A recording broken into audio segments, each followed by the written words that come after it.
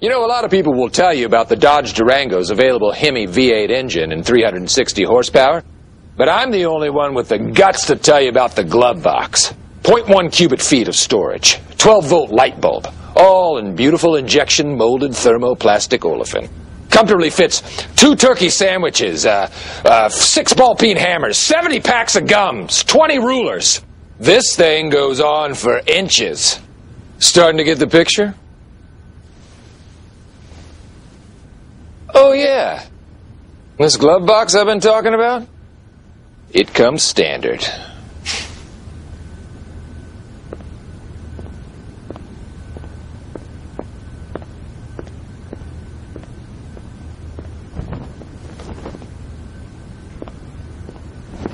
I, I know it's just a curtain, but I can't get out.